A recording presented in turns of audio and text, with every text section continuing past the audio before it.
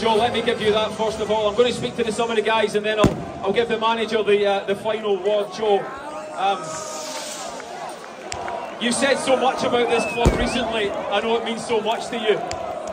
This is an experience that not many players get to, to be a part of. What, what are you feeling right now? Uh, I'm feeling extremely grateful, extremely proud.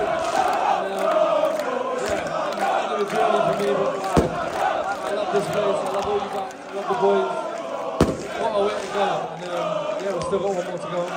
Yeah, absolutely. We still have uh, one more to go. You looked as if you were enjoying that, that on the pitch at Rugby Park at, at full time. Are you determined just to, to absorb it all, to have so many memories? No, I just love it. I absolutely love it. It, it runs through me, and you've got to enjoy winning. It doesn't come easy. It comes through hard work. and It's not given, so And a word about these fantastic supporters who you've got such a great connection with now. unbelievable. They're eternally a part of my heart. I appreciate every single one of you. I love you. Thank you for having me. Thank you for having my family. We appreciate you, and um, I'll never forget this. Ladies and gentlemen, give it up for Super Joe Hart!